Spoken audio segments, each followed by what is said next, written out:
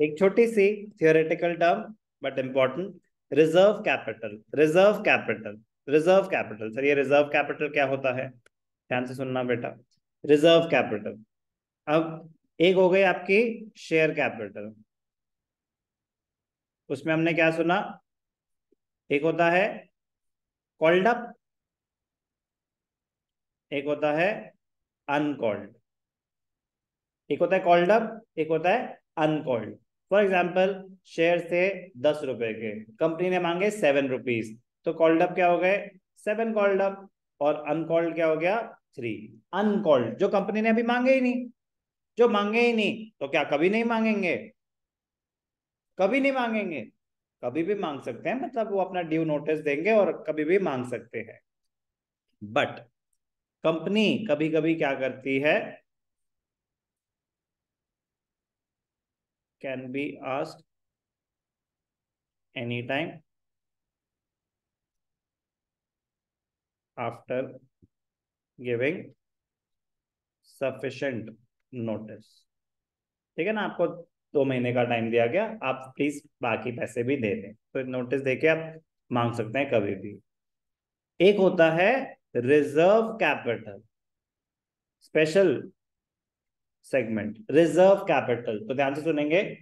एक तो share capital उसमें से जो पैसे आप मांग चुके हैं, वो है कॉल्ड अप कैपिटल जो पैसे नहीं मांगे, वो होती है अनकॉल्ड कैपिटल अनकॉल्ड में से अगर आपने कुछ एलोकेट कर रखी है रिज़र्व कैपिटल तो वो क्या होता है? Reserve capital is a part of uncalled capital which will not be asked during the life time of the company करे पैसे हम आपसे नहीं मांगेंगे। कब मांग सकते हैं? वाइंडिंग अप के टाइम मतलब हम प्रॉब्लम में है, हमें पैसों की ज़रूरत है, अब हमें चाहिए। तो तब कंपनी मांग सकती है। इसके लिए स्पेशल रेजोल्यूशन पास होता है तो आप रिज़र्व कैपिटल क्रिएट कर सकते हैं। तो reserve capital is a part of uncalled capital which can be ask for under special circumstances like winding up तो क्या सारी अनकॉल्ड कैपिटल रिज़र्व कैपिटल होती है? नहीं स्पेसिफिकली एलोकेटेड होगी तो ही रिज़र्व कैपिटल होगी। अदर कोई अदरवाइज़ कोई रिज़र्व कैपिटल नहीं होती। बाकी जो बैलेंस है भाई साहब मांगेंगे, जैसे ही हमें ज़रूरत होगी। Reserve capital is a part of subscribe capital that a company resolve मतलब एक रेजोल्यूशन पास होता है। Resolve by a special resolution not to call except in the event of winding up of the company अब हमें आपके पैसों की ज़रूरत है such shares are shown as subscribe but not fully paid up subscribed but not fully paid up Let us take an example. Company issued 1 lakh shares, 10 rupees each. Company resolved that out of this, 3 rupees will be called up at the time of winding up. तो तीन रुपए पर share क्या हो गई reserve capital number of shares एक लाख है तो थ्री लाख रुपीज क्या हो गई reserve capital repeat out meaning clear term होती है कैपिटल रिज़र्व दोनों का दूर दूर तक कोई लेना देना नहीं है। बस डाउट है रिज़र्व कैपिटल कैपिटल रिज़र्व तो बस यही कंफ्यूजन हो सकती है कि हाँ दोनों वर्ड्स तो सेम है। दोनों में कोई सिमिलैरिटी नहीं है। डिफरेंस तो छोड़ो। डिफरेंस तो होता ना, इन दोनों में क्या डिफरेंस है? मैं कह रहा हूँ, ये बिल्कुल अलग बातें हैं। ये बिल्कुल अलग बातें हैं। ओके रिज़र्व कैपिटल बिल्कुल अलग टर्म है।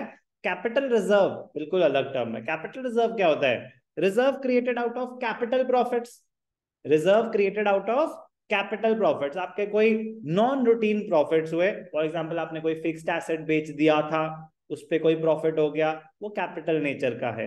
आगे जाके हम सीखेंगे री इशू ऑफ़ शेयर्स पे कोई प्रॉफिट हो गया, वो कैपिटल नेचर का होता है। रूटीन बिज़नेस प्रॉफिट नहीं, कोई कैपिटल नेचर का प्रॉफिट हुआ है तो वो कैपिटल रिज़र्व में ट्रांसफ़र हो जाता है। दूर दूर तक दोनों में कोई लेना देना नहीं।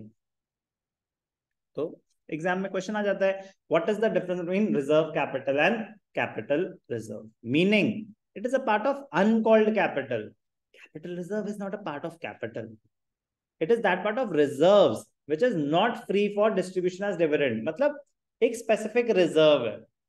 रूटीन बिज़नेस प्रॉफिट से क्रिएट नहीं हुआ। Something which is available for dividend मतलब फ्री रिज़र्व है। आपके भाई साहब पैसे हैं, आप नहीं कमाए जो करना है करो, चाहे बांटो dividend not free for distribution dividend मतलब स्पेसिफिक रिज़र्व है। रूटीन बिज़नेस प्रॉफिट से क्रिएट नहीं हुआ है। क्रिएशन ये तो अनकॉल्ड कैपिटल का पार्ट है। Capital reserve it is set aside out of capital profits optional या mandatory reserve capital is purely optional मेरी मर्ज़ी में रिज़र्व कैपिटल क्रिएट करूँ या ना करूँ। कैपिटल रिज़र्व क्रिएट करना it is appropriate to transfer capital profits to capital reserve मतलब it would not be appropriate to add the capital profits to your routine business profits. It will show inflated result. It will show unfair results, not true and fair.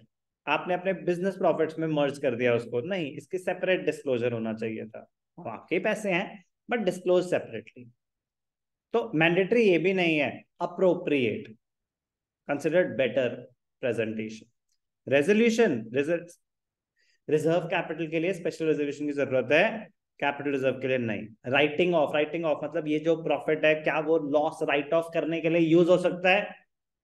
कह रहे reserve capital कोई profit नहीं है.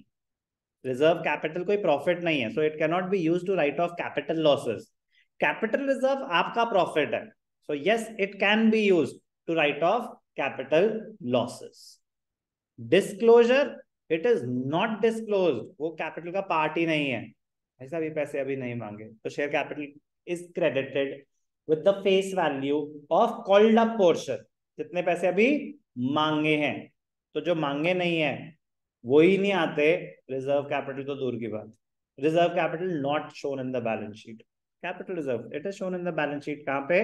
Reserves and surplus में। Pure theory but important important numerically use नहीं होगा theoretically अलग से क्वेश्चन आएगा। तो नुकसान क्या है? क्योंकि न्यूमेरिकली यूज़ नहीं होगा, आप अभी आगे पचास, साठ, सत्तर क्वेश्चन करेंगे, एक बार भी दोबारा नहीं आएगा तो भूलने के चांसेस बहुत हाई हो जाते हैं। तो थ्योरी अलग से ढूंढ ढूंढ के रिवाइज करनी पड़ती है। न्यूमेरिकल तो बार बार बार बार परेशान करते कि आए हाय, अभी भी समझ नहीं आया, अभी भी समझ नहीं आया तो एक स्टेज आता है, फिर समझ आ जाता है। बार बार बार बार करके। थ्योरी क्योंकि बार बार हमारे सामने नहीं आती तो रह जाती है। मार्क्स उतने ही देती है। सो so, प्लीज़ याद करें।